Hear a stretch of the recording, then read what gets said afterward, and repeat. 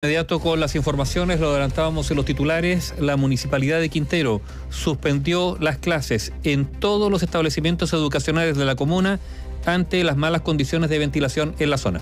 El alcalde subrogante precisó que al menos 100 niños y niñas han requerido de atención de salud por síntomas de intoxicación. Vamos hasta Radio Bio, Bio la región de Valparaíso, a revisar esta información con Simón Valdebenito. Hola Simón, buenas tardes. Hola, buenas tardes. Un nuevo episodio de contaminación del aire se produjo en la comuna de Quintero la mañana de este martes, afectando a gran parte de la comunidad, especialmente a niños, niñas y adolescentes. El alcalde subrogante de Quintero, Francisco Geldes, anunció la suspensión de clases en colegios y jardines infantiles municipales y particulares subvencionados, que fue autorizada por la Seremi de Educación debido a la emergencia ambiental por la mala calidad del aire. Geldes también acusó inacción por parte de la delegación presidencial al ocurrir este tipo de contingencias y precisó que al menos 100 niñas y niños han requerido de atención de salud por presentar síntomas de intoxicación. Lamentamos la nula participación de la delegación presidencial en esto y la coordinación que, así como nosotros lo hacemos aquí localmente, con cada uno de nuestros encargados, la delegación debería hacerlo con sus seremías para poder tomar acciones al respecto porque ¿qué tuvimos que hacer hoy día? Esperar que tuviéramos niños intoxicados, que hoy día ya van en media hora 100, para que se pudiera gestionar la suspensión de clases.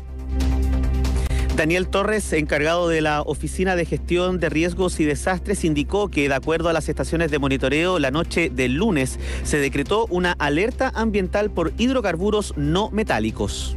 Anoche, alrededor de las 23 horas, se generó una alerta en los hidrocarburos no metánicos. Esta situación se mantuvo alrededor de dos horas vigente y después de manera esporádica durante la, noche, lo que afectó a sectores del polo industrial, sector El Vato, donde tuvimos que enviar equipos de bomberos a generar mediciones.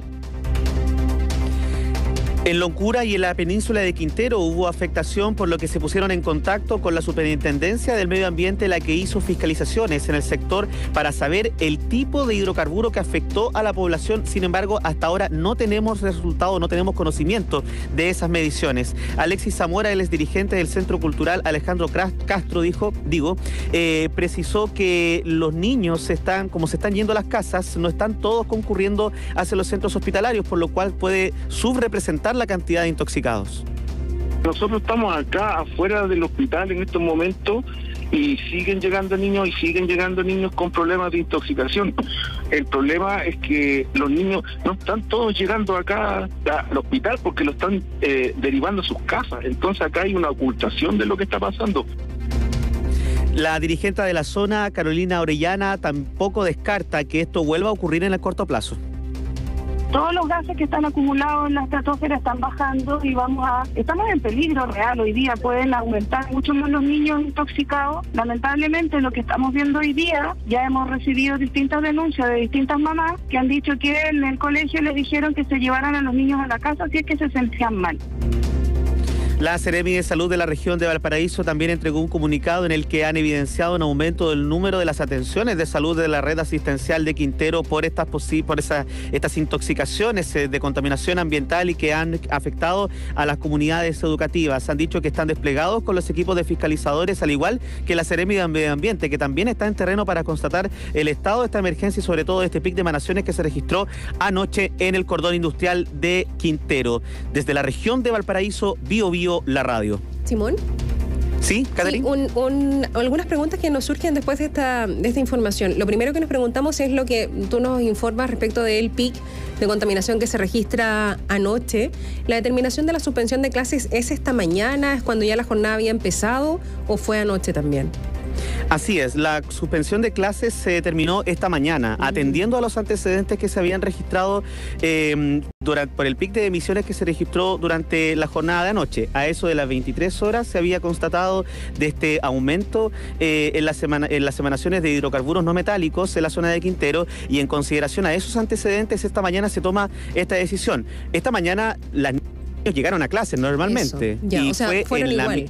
Exactamente, y fue a eso de las 10 de la mañana en la que, eh, como comunica el alcalde subrogante, después de una reunión con sus propios equipos de emergencia, incluso el encargado de gestión de desastres de la municipalidad, en coordinación con la directora de educación municipal, toman la decisión de suspender las clases y de hacer el llamado a los padres apoderados a que concurran a los establecimientos para retirar a sus hijos, porque eh, no solamente tuvimos este pic, que ellos, que, información que ya se tenía hasta la mañana y que se estaba monitoreando, sino que eh, paralelamente comenzaron a presentar síntomas eh, niñas y niños en la zona. ¿Y con alguna algún foco puesto en alguna empresa en particular respecto a la contaminación o no?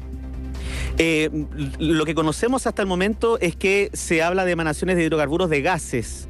Eh, por tanto, desde allí la Seremi de Medio Ambiente es la que tiene que entregar precisión respecto del tipo afectación a la población en el lugar. Eh, sabemos que en la zona hay una decena de industrias em, que, trabajan en el sector, por tanto eh, es la autoridad competente la que tiene que hacer una evaluación del sector, pero evidentemente son muchísimas las empresas que tenemos en ese cordón industrial, no solamente en Quintero, sino que además en Concoña y en Puchuncaví. Ahora, ¿quién está encargado de estar revisando estos estos niveles, ¿no? Porque voy a insistir en mi pregunta, si se supo anoche, si anoche se había registrado ese pic de contaminación independiente de quién fue, que también se tiene que investigar y es muy importante, pero hay, mm, hay mediciones, ¿no? Mediciones constantes que se están haciendo. Si se supo anoche, ¿por qué no se decretó de inmediato la suspensión para no exponer a los niños eh, a una jornada de clase que además fue fallida, ¿no? Si fueron un par de horas mm, para después volverse a la casa. O en el mejor caso, porque algunos terminaron en el consultorio. Exactamente, y es la medición de la calidad del aire, existe en tiempo real y se puede monitorear incluso a través de la página del Ministerio de Medio Ambiente, de la Serie del Medio Ambiente, porque tal como el tiempo se puede pronosticar cuál es la calidad del aire para la, península de Quintero en los próximos días, eh, usualmente la calidad del aire es mala hasta el mediodía, hasta, hasta esta hora, como hasta la 1, hasta las 2 de la tarde, luego, luego, luego mejora, es por esa razón, por las malas condiciones de ventilación que tuvimos además durante esta mañana la afectación, porque si bien el pic de emanación de hidrocarburos fue anoche a las 23 horas y por un lapso de dos horas, eh, queda el, olor pesado, queda en la, península hasta esta mañana por las malas condiciones de ventilación, pero son las autoridades locales municipales, vale decir, eh, el equipo de de salud de la municipalidad y también de educación, que tiene un prevencionista de riesgos, el que evalúa constantemente cuáles son las condiciones de ventilación en la zona y ellos hoy fueron los que solicitaron la suspensión de clases a la Seremi de Educación. El alcalde lo decía en la cuña, en la, cuña que escuchábamos, eh, que criticaba la inacción de la delegación presidencial en este sentido porque deben ser, dice el alcalde, sus equipos con sus Ceremis los que deben estar en el lugar y tomando este tipo de decisiones. Gracias, Simón. Buenas tardes. Siempre primeros en informar. Radiograma